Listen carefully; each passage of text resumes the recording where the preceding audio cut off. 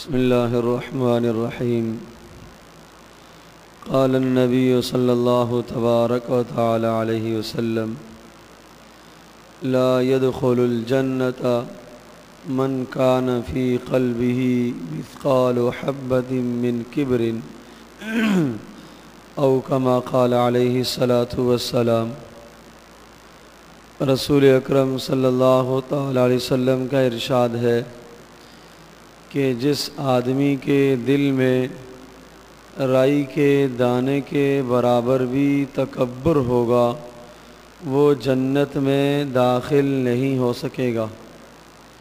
जिस आदमी के दिल में एक ज़र्रा भी तकबर होगा, वो जन्नत में दाखिल नहीं होगा। उसे पहले तो जहन्नम में डाला जाएगा और उसकी खूब सफ़ाई कराई जाएगी। और अंदर से गंदगी और गुनाहों की नहूसत को पाक और साफ़ किया जाएगा। न मालूम वो कितना तवील अरसा लग जाए, उसके बाद उस आदमी को फिर जन्नत में डाला जाएगा। अव्वल लम्हे में ये आदमी जन्नत में नहीं जा सकेगा। तकबर क्या होता है? अपने आप को बड़ा समझना और दूसरे को हकीर जानना, इसका नाम तकबर है। अपनी बड़ाई का इजहार करना, दूसरे की तहकीर और हकारत करना, ये तकबर कहलाता है। फिर तकबर की तीन किस्में होती हैं। एक तकबर है दिल से तकबर करना। अल्लाह पाक का फरमान है इन अल्लाह ला युहिब्बुल जो दिल से तकबर करते हैं, अल्लाह पाक इन्हें पसंद नहीं करता। दिल से तकबर क्या होता है कि अगर कोई आदमी सामने आ गया और उसने हमें कोई अच्छी बात कह दी या उसने कोई ऐसी बात कह दी जो है तो हक़ सही कह रहा है, लेकिन वो मेरे मिजाज के मुताबिक नहीं है, मेरी तबीयत के मुताबिक नहीं है तो मैंने ज़बान से तो कुछ नहीं कहा अलबत् दिल ही दिल के अंदर मुझे ये बुरा लगा। और मेरे दिल में उसकी हकारत पैदा हो गई, उसकी बुराई पैदा हो गई। मैं ये कहूँ कि ये बड़ा आया नसीहत करने वाला, ये बड़ा आया खैर खही की बातें करने वाला। ये क्या है? ये दिल का तकबर है।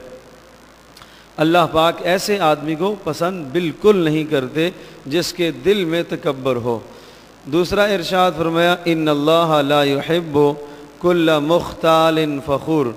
अल्लाह तबारक ताली उस आदमी को भी पसंद नहीं करते कि जिसके तकबर का इजहार अज़ा में आ जाए, यानी उसके तकबर का इजहार ज़बान पर आ जाए, जिसम के बाकी अज़ा पर आ जाए, चाल चलन में उसका मतकबराना अंदाज़ हो, लिबास में उसका अंदाज भी मतकबराना हो, ऐसे आदमी को भी अल्लाह पाक पसंद नहीं करते। आप जानते हैं कि जब इंसान के जिसम में किसी भी जगह अगर बीमारी पैदा हो जाती है, कैंसर पैदा हो जाता है तो कहा जाता है कि अब इस कैंसर के असरात मुतदी होंगे और पूरे जिसम में ये कैंसर फैल जाएगा। यही मिसाल है कि जब दिल में तकबर का कैंसर पैदा होता है और दिल में तकबर का बीज पड़ जाता है, लग जाता है तो यहाँ से आगाज़ होता है। फिर उस आदमी की ज़बान पर मतकबराना जुमले आने शुरू हो जाते हैं। अगर ये दिल में जो तकबर आया था, इस तकबर की ये असलाह नहीं करेगा तो नतीजा ये निकलेगा कि ज़बान पर जब जुमले आएँगे तो भी मतकबराना जुमले आएँगे। चाल चलन में भी तकबर आ जाएगा। ज़बान पर मतकबराना जुमले किस तरह से आते हैं कि जब उसके सामने उसकी कोई तारीफ़ करे, अच्छाई बयान करे तो ये फूला न समाए और और ज़्यादा अपनी बड़ाई जितलाने लगे और कहे कि हाँ भाई, मैंने तो मेहनत की है, मैंने तो कोशिश की है। इसके कारोबार का तस्करा आया और जनाब, इसकी मुलाजमत का तस्करा आया। आला कर करदगी किसी ने सामने ज़िक्र की। उसने इसकी तारीफ़ का जुमला कहा, इसकी ज़बान पर मुतकबराना कलिमात आ गए कि हाँ मैंने मेहनत की है, इसलिए ऐसा हुआ है। लोग थोड़ा ही ऐसा क्या करते हैं? मैंने मेहनत की है, कोशिश की है, ये तकबराना जुमला है। इसी तरह का जुमला कारून ने भी कहा था। मूसा ने इरशाद फरमाया, अल्लाह पाक ने आपको इतना माल दिया, इस माल को अल्लाह के रास्ते में ख़र्च करो कहने लगा इन नमाऊती तो हो अला इल्मी ये तो मेरी ज़ाती सलाहियत है, ये तो मेरा अपना कमाल है, इसमें किसी की मेहनत का क्या दखल है? उसने इस बात को अल्लाह पाक की तरफ़ नहीं फेरा। जब भी कोई फ़ज़ल अल्लाह का आ जाए, अल्लाह की नियामत आ जाए तो इंसान उसको अल्लाह की तरफ़ फेरे कि ये अल्लाह का फ़ज़ल है। ये शुक्र का जुमला है, ये तवाज़ो और इनकिसारी का जुमला है। सुलेमान सलाम की बादशाहत का तस्करा आया। उन्होंने फ़ौर कहा इन हादा ये मेरे अल्लाह का फ़ज़ल है, अल्लाह का फ़ज़ल है। फिर इसी तरह से एक और बार बादशाहत का तस्करा आया। फौरी ये कहा कि ये मेरे अल्लाह ने मुझसे आजमाइश ली है, इम्तिहान लेना चाहता है कि मैं इस हाल में मतकबराना कलिमात कहता हूँ या मैं अल्लाह का शुक्र अदा करता हूँ। तो अहले ईमान का तरीक़ा इस मौके का ये होना चाहिए कि जब भी कोई अल्लाह पाक की नियामत उनके हाथ में आ जाए और कोई भी इंसान उस नमत का तस्करा करे, या जहाँ लोग उनको बड़ा समझ रहे हों फ़ौर इस बड़ाई को अल्लाह पाक की तरफ़ मुतवजह कर दें कि ये अल्लाह का फ़ज़ल है, इसमें मेरा कोई कमाल नहीं है। अल्लाह का एहसान है, अल्लाह का एहसान है। आप देखें, नबी पाक सल्लल्लाहु अलैहि वसल्लम ने किस कदर इंतहाई तवाज़ो वाले कलिमात कहे थे, किस मौके पर? जब मक्का फ़तह हुआ।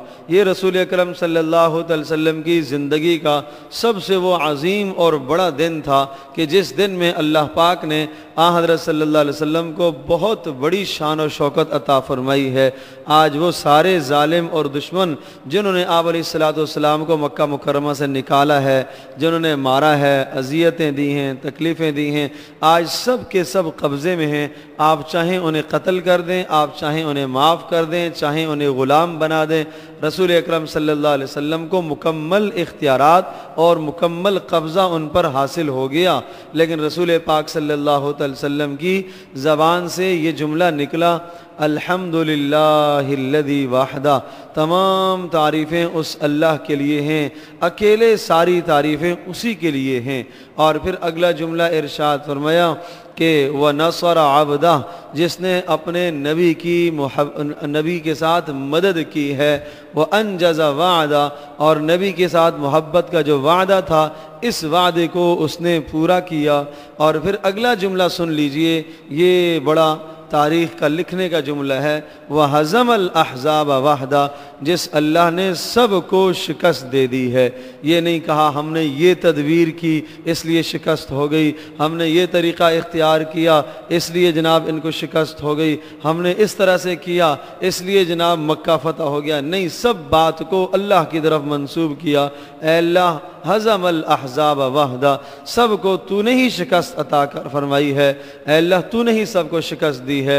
यूँ नहीं कहा कि ए ए महाजरीन, ये आपकी क़ुरबानियों का नतीजा है, जो आपने तेरह साल मक्का में मशक्क़तें की हैं, उनका ये नतीजा है।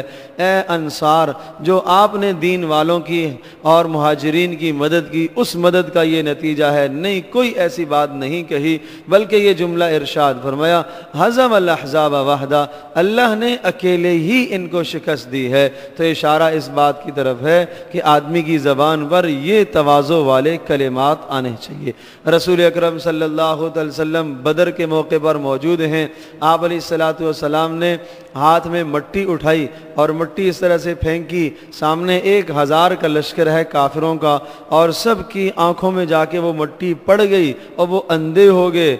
आँखें मलते रह गए और इधर से सहाबा ने उन्हें कत्ल करना शुरू किया। तो अल्लाह पाक ने ये इरशाद फरमाया, वमा रमई इद रमई तला किन अल्लाह रमा कि ये आपने मट्टी नहीं फेंकी है, ये अल्लाह ने फेंकी है, अल्लाह ने। आपका तो हाथ इस्तेमाल हुआ। आपने मुट्ठी भर कर फेंकी है। उनकी, उनके आँखों में किसने पड़वाई और किसने जाके उनकी आँखों में डाल दी है? ये तो अल्लाह का निज़ाम है। तो एक आदमी तो सिर्फ़ अपना मंसूबा बना सकता है। दुकानदार अपनी दुकान सिर्फ़ खोल सकता है। उस दुकान पर घाक कौन बेचता है? वो तो अल्लाह ही बेचता है। एक आदमी मुलाजमत के लिए जा सकता है। वहाँ काम करने की हिम्मत और ताकत और हाथों में क़ुत किसने दी है? वो अल्लाह ने दी है। दिमाग किसने दिया है? अल्लाह ने दिया है। तो इन तमाम बातों को इंसान अल्लाह के फ़ज़ल की तरफ़ ले जाए कि ये अल्लाह का फ़ज़ल है। मेरा कोई कमाल नहीं, मेरा कुछ भी नहीं है। तो ये ज़बान से तोज़ो वाले जुमले हैं। और अगर इंसान कहे, भाई, ये तो मेरी मेहनत है, ये तो मैंने कोशिश की है। तो ये मुतकबराना जुमले हैं। ये ज़बान से किबर है। इस किबर को भी अल्लाह पाक पसंद नहीं करते। और तीसरा तकबर है इंसान हाथ से, पाँव से, चाल चलन में तकबर इख्तियार करे। मिसाल के तौर पर उसकी एक पहचान रसूल पाक अलैहि वसल्लम ने इरशाद फरमाई, मन जर्रा सौबहू खुयला लन यंजुरिल्लाहु इलैहि यौमल क़ियामा औ कमा क़ाल अलैहिस्सलातु वस्सलाम जो आदमी अपने एज़ार को टखनों से नीचे लटकाएगा तकबर की अलामत और निशानी के तौर पर अल्लाह पाक इस आदमी को भी जन्नत में नहीं दाखिल करेंगे तो मालूम ये हुआ कि इज़ार का और शलवार का टखनों से नीचे रखना ये भी तकबर की अलामत है ये चाल चलन में तकबर है आदमी अकड़ कर चले, आदमी इतरा कर चले। इरशाद फरमाया, वला तम शिफिल अर्द मराहा ज़मीन में अकड़ के न चला करो। इन नकलन तखरिकल अर्दा वलन तबलगल जिबाला तूला। अगर ताकत है तो देखो तुम इस ताकत से ज़मीन को फाड़ नहीं सकते हो, आसमान की बुलंदी को नहीं छू सकते हो। तो फिर तकबर क्यों इंसान करे? किस बुनियाद पर तकबर करे? जिस इंसान का आगाज़ भी मट्टी और जिसका इंतहा भी मट्टी, उसे क्या तकबर करना है? तो इसलिए इंसान अपने तकबर से, अपने आप को तकबर से बचाए। जब तकबर का और बुराई का ख्याल आए, ज़बान से तकबर होने लगे, चाल चलन में तकबर होने लगे, दिल से तकबर करने लगे, दिल से किसी को हकीर समझे, ज़बान से हकारत के, किसी की हकारत और तोहन के कलिमात कहे, या कोई ऐसा अंदाज इख्तियार करे, जिस अंदाज से सामने वाले की तोहन और तनखीस हो तो फ़ौर अपनी ज़ात की तरफ़ तवज्जो करे कि मैं तो सरापा गुना हूँ गुना ही गुना मेरे अंदर है, मैं क्यों तकबर करूँ? सर से लेकर पाँव तक नजासत भरी हुई है और पेट में नजासत भरी हुई है। और जिसम के जिस हिस्से में सुई को चुबोया जाए, ज़ख़म लगता है, अंदर से नजस और नापाक खून निकलता है। मैं तो सरापा नजासत हूँ, मैं क्यों तकबर करूँ? जब इंसान अपनी हकीकत को देखता है, सोचता है तो यही इस तकबर का इलाज है कि तकबर की बीमारी को और मर्ज़ को इस तरह से ख़त्म किया जाए कि इंसान अपनी हकीकत को देखे फल यंजुरिल इंसान मम्मा खुलिक। देखे इंसान किस चीज़ से इसको बनाया गया है? जब इंसान इस बात को सोचेगा तो इसके अंदर से आहिस्ता आहिस्ता तकबर ख़त्म हो जाएगा और तोज़ो वाले आमाल करे। मुसलमानों के साथ अखलाक से पेश आए मुतकबराना अंदाज न इख्तियार करे। इसी तरह से इसको भी तकबर कहा गया है, मर्द होकर औरतों की वज़ाक़ता इख्तियार करे और औरत होकर वो मर्दों की वज़ाक़ता इख्तियार इख्तियार करे, ये भी तकबराना अमाल हैं। इसलिए कि नबी पाक सल्लल्लाहु अलैहि वसल्लम ने जिस चीज़ से रोका मना कर दिया कि ऐसा नहीं करना, फिर भी डटाई के साथ और पूरी ज़रूरत के साथ इंसान वो गुनाह करता है। तो ये तकबर की अलामत है कि उसने किसी बड़े की बात की, रियायत नहीं की। आप देखते नहीं हैं, हम माशरे में कहते हैं कि ये बड़ा मतकबर आदमी है भाई। ये तो किसी की बात ही नहीं सुनता सुनता ही नहीं है। तो जो अल्लाह के नबी की बात न सुने, अल्लाह की बात न सुने, उससे बढ़कर कौन मतकबर हो सकता है? जो अल्लाह पाक से न मांगे, उससे बढ़कर कौन मतकबर हो सकता है। जो आदमी दुआ नहीं करता, अल्लाह के सामने हाथ नहीं फैलाता, अल्लाह से माँगता नहीं है, उसको भी अल्लाह पाक ने मुतकबर कहा है। तो इसलिए इन इस तकबर से हम अपने आप को बचाएँ और अर्ज़ किया कि इसका इलाज यही है कि इंसान अपनी तख्लीक पर गौर करे और इंसान तोज़ो वाले ज़बान से जुमले भी निकाले। जो भी अच्छाई आ जाए, उस अच्छाई को अल्लाह पाक की तरफ़ मनसूब करे।